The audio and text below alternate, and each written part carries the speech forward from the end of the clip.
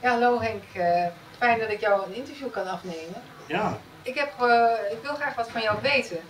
Eh, kun je iets vertellen over jouw praktijk als homeopaat? ja, ik heb vanaf mijn 27 heb ik in groepspraktijken gezeten. In Duitsland en in België en ook in Nederland. En daar ben ik dus mee gestopt. En hoe lang heb je dat gedaan? Nou, nou, bijna 50 jaar. Zo, Nou, ik ben 77. En door de ziekte van mijn vrouw ben ik dus op een gegeven moment terechtgekomen bij, eh, bij MMS en Jim Humble. Oh, aha. En, en, dat is een, een medicijn wat beter werkt dan homeopathie of anders? Of hoe leg jij dat uit? Het werkt anders. Het werkt anders. Homeopathie werkt dus, eh, eh, ja, een cursus homeopathie geven in twee minuten is natuurlijk heel moeilijk. Maar zie je het als aanvullend bij de homeopathie of is het in- nu voor jou in plaats van homeopathie? Het gaat bij mij samen. gaat samen. Ik heb een, een systeem ontwikkeld waarbij ik dus, dat noem ik dan Clinotox, waarbij ik dus homeopathische middelen samen doe met MMS. Aha. Omdat je bij homeopathische middelen dus ook eh, toxines kunt opwekken, als het goed gaat, die door MMS keurig worden vernietigd.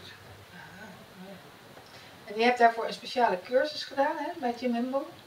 En ben je nu Ja. geregistreerd of zo? Of? Ja, ik heb de cursus gedaan, eh dit ben ik voor geslaagd. Eh, dan krijg je dus je, je titel van Minister of Health. En dan krijg je dus ook je ID-kaart, want dan ben je lid van de kerk die hij heeft opgericht. Je hebt dus je- zo'n zo'n eh, ID-kaart. Wat mooi, ja, ziet er mooi uit. Maar, maar wat houdt dat in dan, dat je daar lid van bent? Nou, dat houdt dus in ten eerste dat je kunt beschikken over alle protocollen. Als ik maar ten tweede ook dat je dus eh, kunt weigeren alle medische handelingen die door regeringen of instellingen jou worden opgelegd. Zo. Dus als, dus je hoeft, je hoeft niet, ja, vraag als, maar. als iemand dus, eh, als, als, zeg maar, ik ben eh, verpleegkundige en ik moet van het ziekenhuis een vaccin nemen. Want er is weer griep of zo. Ze willen dat ik die vaccinatie neem. Dan kan ik eh, op deze manier zeggen van nee. Als je lid van die kerk bent en je, en je accepteert de, laten we zeggen, de regels van die kerk, dan kun je dat op grond daarvan gewoon weigeren. Kan je gewoon weigeren. En er is geen, eh, in, eh, geen eh, laten we zeggen, officiële instantie die jou erop kan pakken. Zo. Maar ben ik ook juridisch beschermd als ik nou... Je bent juridisch beschermd. Ja? Mochten er toch nog eh, aanklachten komen, in Amerika is dan meestal de FBI, dan staat er een batterij van de, van de advocaten klaar en dat zijn geen lievertjes, Zo. de Amerikaanse advocaten. Dus, Want ik las toevallig dat in Canada nu weer een probleem is voor verpleegkundigen die dus eh, eh, het vaccin moeten nemen. Of anders moeten ze met mondkapjes gaan. dat eh, heb ik ook gelezen, ja. Ja, Ja. dat is heel Dus- vervelend. Een soort van jodenster. Ja, hè? in feite wel. Ja, jij wordt apart gezet. want, eh, Nou ja, goed, dat is duidelijk. Als jij dus dan lid zou zijn van een kerk, zoals van Jim Humble, dan kan ze dat weigeren en mag ze de monddoekje afhouden. Kijk, Jim Humble heeft de kerk opgericht omdat hij dus enorm wordt vervolgd. Ja? Hij wordt met de dood bedreigd, hij, is, hij wordt van land naar land gejaagd, totdat hij eh, eh, die kerk heeft opgericht. En dat is de eh Genesis. II Church of Health and Healing Ja, die is officieel erkend nu. En in het kader van die kerk kan hij dus zijn MMS-gedachten tot heil van de mensheid uitdragen. En die kerk is eigenlijk eh, niet zozeer een kerk om een geloof te prediken, maar echt om mensen te bedienen en voor hun gezondheid. Er is een misvatting dat een kerk met geloof heeft te maken. Ah, Heeft er niks mee te maken. Ze hebben dat wel, laten we zeggen, geadopteerd. De, de christelijke, maar eh, elke groep mensen die een ideeel doel heeft en waarvoor ze bij elkaar samenkomen, kunnen voor dat doel een kerk oprichten. aha. En die moet dan voldoen aan bepaalde voorwaarden. En als je eraan voldoet, heb je een kerk. Dus dat zou in Nederland ook kunnen. We zouden hier ook Ja, hoor. kerk kunnen oprichten. Dat kan heel makkelijk. Dat is mooi. En dan kun je die geneesmiddelen uitdelen zonder dat de inspectie daar iets over kan zeggen. De bedoeling is dat eh, eh, de opzet van die kerk is dat de mensen dus gratis worden geholpen voor hun ziekte. Oh, dat is geweldig. En dat zij dus eh, de behandeling krijgen via MMS. En laten we zeggen, die MMS-protocollen, dat zijn de sacramenten van de kerk. Oh, oké.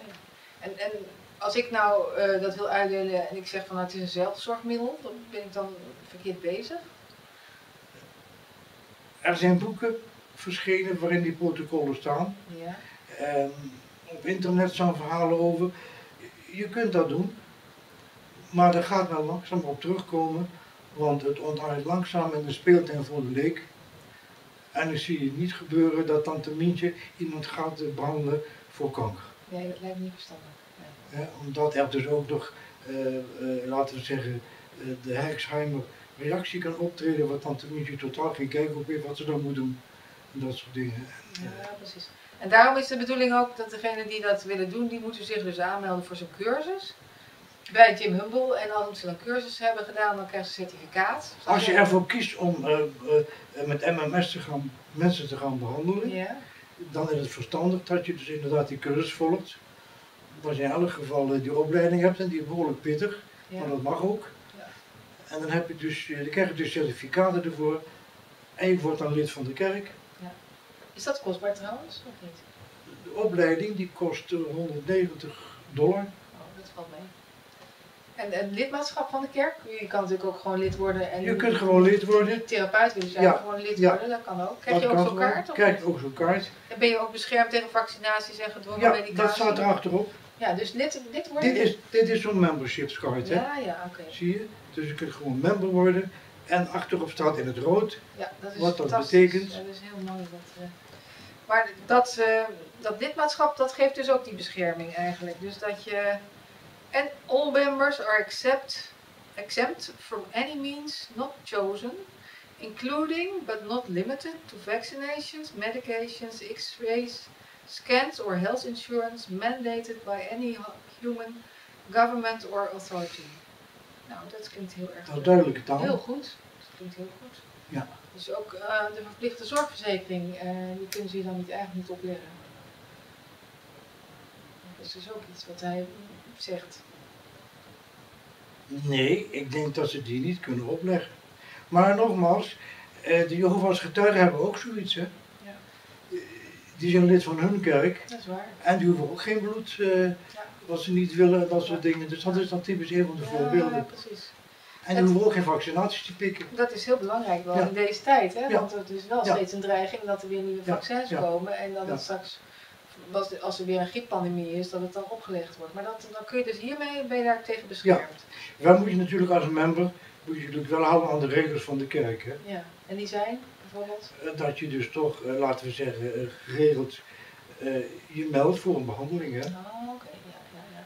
Of dat je in elk geval helpt, Helpt andere mensen of helpt. bepaalde mensen helpt met eh voeden en dat soort dingen.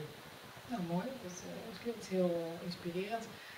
En weet je ook eh, of die kerk ook in meerdere landen al, al is opgericht? Ja, die is al in Colombia, die is in, in eh, eh, Dominicaanse Republiek, in Amerika ook. Er zijn er verschillende aanvragen, maar dat heb ik nog niet allemaal nagevraagd hoor. Dus het wordt tijd eigenlijk dat het hier in Europa ook wat meer bekendheid gaat Ja. geven.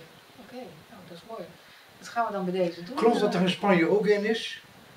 Bisschop Kalkai, die heeft daar zijn kerk, want het is een veearts die een heel belangrijke functie heeft bij, bij Jim Humble.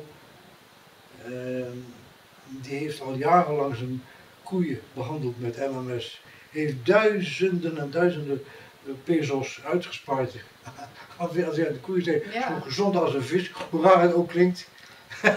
Dus ook voor de dierenarts is het interessant en, en voor de, de dieren is het ook belangrijk Ja, ja. dat er heel veel antibiotica gaat. Hè, Ik heb zelfs een paard in behandeling. Zo, kijk eens aan.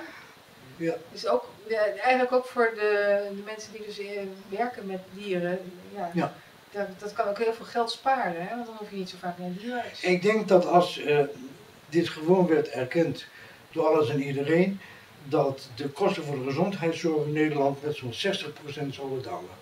Nou kijk, dat is nou heel belangrijk, want dat is, Want een heleboel dingen hoeven niet meer voor naar de dokter. En zou fijn zijn dat de huisartsen dit ook gingen doen. dat zou fantastisch zijn. Ja, Ja. Nee, de, de kosten in de gezondheidszorg reizen de pan uit, dat is een groot politiek probleem. Maar dat zou hiermee dus behoorlijk makkelijk kunnen worden opgelost. Ja, natuurlijk. De, de, de, de, de, het zou zelfs zo zijn dat, laten we zeggen, de, de ziektekosten dan met de helft kunnen worden verminderd. Ja. Want LMS is niet duur. En dat is natuurlijk een probleem. De farmaceutische industrie verzet zich met hand en tand tegen dit alles. Ten eerste heeft de farmaceutische industrie er totaal geen belang bij om geneesmiddelen te maken die ziekte genezen. Je kunt ook geen één geneesmiddel opnoemen dat ze hebben gemaakt dat ooit een ziekte heeft genezen. Alle middelen werken palliatief. Noem mij maar één middel op wat zij hebben gemaakt wat een ziekte geneest. Je komt er geen één tegen, ja misschien twee of drie. En die hebben ze gepikt van de geneeskunde en de homeopathie. En verder hebben ze niks te melden. En ze zullen, want ze hebben er natuurlijk geen belang bij. Stel je voor dat ze een, middel vinden tegen griep. Dat is natuurlijk afschuwelijk, want dan heeft niemand griep meer. Zij kunnen het vermaken aan de aandeelhouders die gaan klagen. En wie zijn dat? Dat zijn de rijke mensen, dat zijn politici, dat zijn, dat zijn eh, eh, pensioenfondsen, dat zijn banken en dat zijn regeringen. Die hebben allemaal er belang bij dat de farmaceutische industrie blijft bestaan en hun miljardenwinsten per dag eh, doneren in de vorm van, van geld voor hun. Dus jij ziet dat ook als dat de politici behoorlijk veel boter op hun hoofd hebben als het gaat om uitgaven voor de gezondheidszorg? Jazeker. Tuurlijk. Ze hebben er geen snars verstand van, wat jou betreft. Nee, en het is zo, je zult ook merken als je, als je in discussies gaat over, over homeopathie of wat dan ook. De mensen die hier tegen zijn, die weten er of geen fluit van, of ze hebben een familie artsen. En specialisten. Ja, ja, ja, ja. Dat heb ik gewoon ontdekt. Van waarom doet hij zo? En dan blijkt dus de aangetrouwde arts of, of de broer is dokter. En die gesprekken komen natuurlijk op verjaardagen tevoorschijn. En dan krijg je dus die tegenkrachten. Hè? Maar ik vind gewoon, laat ze maar komen, die tegenkrachten. Ze zullen het uiteindelijk niet winnen. Nou, ik ben heel blij met jouw uitleg, uh, Henk. En ik denk dat het een hele goede opzet is om ook in, uh, in Europa gewoon veel meer bekendheid hieraan te gaan geven. Ja. En ook besparingen in de gezondheidszorg te gaan doorvoeren. Ja, en als mensen dus wat ervan willen weten. Jij bent de eerste in Nederland die. die uh, Volgens mij wel. Maar ze houden, de, ze houden voorlopig de namen geheim. Want ik moet jou aanspreken met reverend. Dat betekent, dat betekent dat jij... Ja, ik heb die opleiding gedaan. Waarde... En, en, die, en, ja, dat is gewoon, dat is de functie in de kerk. Dat betekent dus dat je dus eh, de sacramenten mag toedienen. Dat je dus mag beschikken over de protocollen die je mag toedienen. En dat je daar ook daar ook verstand van hebt. Dat is mooi. Dat is het verhaal. Ik laat me heel graag door jou de sacramenten ja. toedienen. Maar mijn kinderen hoeven mij niet te beschouwen als de eerwaarde vader hoor. nou, ontzettend bedankt voor dit uh, leuke interview. Graag gedaan. En we gaan het uit, uh, verder uh, bekendmaken. Oké. Okay. Dank je.